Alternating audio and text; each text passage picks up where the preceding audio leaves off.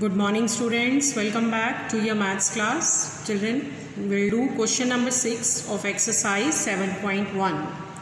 We have done till question number 5. Now in this question, this is the figure given to you and the question is AC is equals to AE, AB is equals to AD given to you and angle BAD is equals to angle EAC and you have to prove that BC this line BC is equals to DE to this one. Now what we'll do we'll take triangle ABC and triangle ADE now in these two triangles Anji, these are our triangles.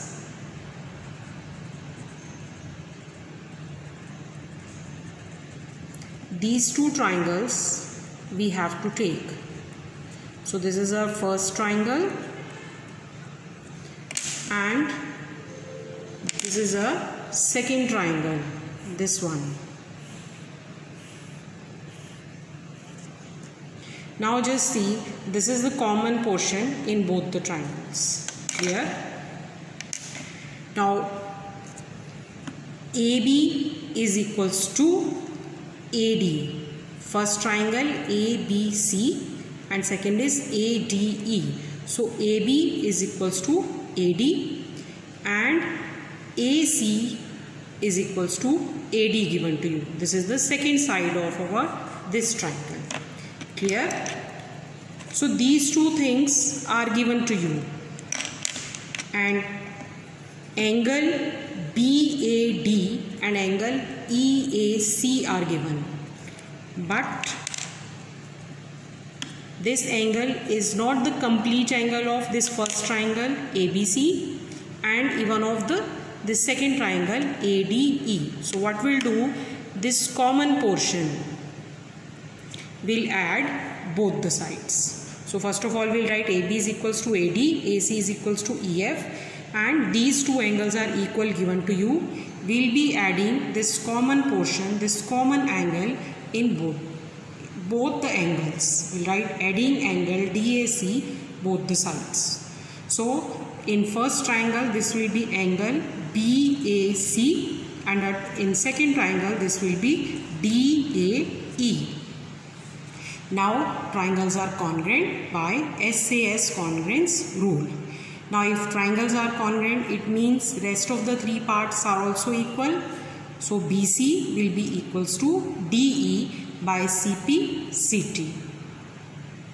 Now our question number 7. This is the figure given to you. Here P is the midpoint of this line AB and angle BAD and angle ABE. These two angles are equal given to you and angle EPA means this angle and angle DPB. These are equal given to you. We have to prove that triangle DAP, DAP and triangle EPB. Now you can see that in these two triangles AP is equals to BP because P is the midpoint given to you. And after that, we know that this angle is equals to this. So we'll write AP is equals to BP. This is given. Angle BAD is equals to angle ABE. This is also given to you. And angle EPA and angle DPB these are equal but these are not complete angles of these triangle now in this triangle this is the complete angle adding this portion and same way in this also you will get this complete angle by adding this one so this common portion will add in both the angles so we'll write first what is given to us EPA angle EPA and angle DPB. These two are equal. Adding angle EPD both the sides. So we'll get angle DPA is equals to EPB. DPA means this complete angle and of this angle EPB of other triangle. So triangles are congruent by SAS congruence condition. So AD will be equals to BE by CPCT. Now our next question, question number 8. In this ACB is a right triangle given to you, right angle at C.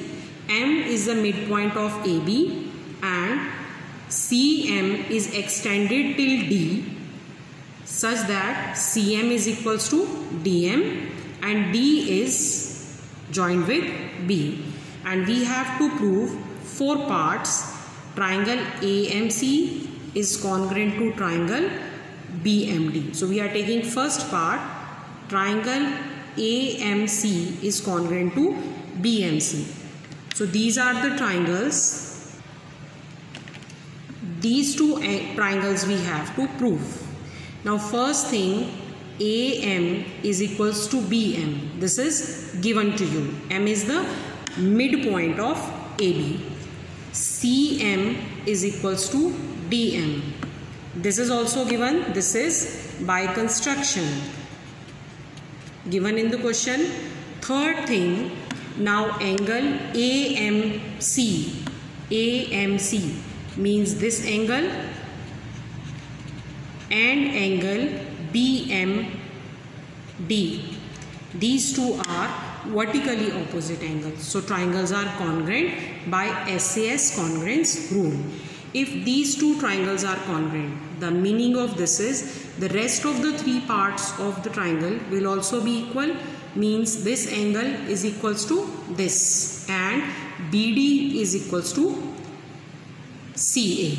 So we'll write this AC is equals to BD and angle CAM is equals to angle BDM. This is by CPCT. Now next second part is angle BDBC. We have to prove this angle is also 90 degree. Now we have proved that this angle and this angle these two angles we have proved that these two angles are equal these are alternate interior angles if we and we know that if alternate interior angles are equal then the lines are parallel so now we'll write angle CMA and DBM are alternate interior angle for line BD and AC so our line BD and AC are uh, CA are parallel ठीक है जी if these two lines are parallel and there are one two three transversal will use this transversal BC. BC is a transversal. Now the sum of these two angles will be 180 degree. Angle DBC plus angle ACB will be 180 degree. These are co-interior angles. So angle BCD will be 180 minus 90, 90 degree because this angle is already 90 degree given to us. Now this was our second part. Now in third part we have to prove that triangle BDC and triangle ACB these two triangles are congruent. Now first thing BC is common. We'll write BC is equals to BC common. Angle DBC and angle ACB DBC and ACB they both are 90 degree. We have proved that DBC is equals to 90 and ACB already 90 given. Third thing this line AC and BD these two are equal. We have proved this one. So we'll write BD is equals to AC proved above. So triangles DBC is congruent to triangle ACB by SAS congruence condition. Now if these two triangles are congruent, it means AB and DC. These two are also equal, means the hypotenuse of both the triangle will also be equal. AB is equals to CD. Now we'll prove our fourth part. Now AB is equals to CD given to us and CM and dm are also equal. So we can write ab is equals to cm plus dm and dm is also equals to cm these two are equal. It's given in the question. So ab is equals to cm plus cm so ab will be equals to double of cm so cm will be equals to half of ab so this was our question number 8 so children complete your exercise. Thank you. Have a nice day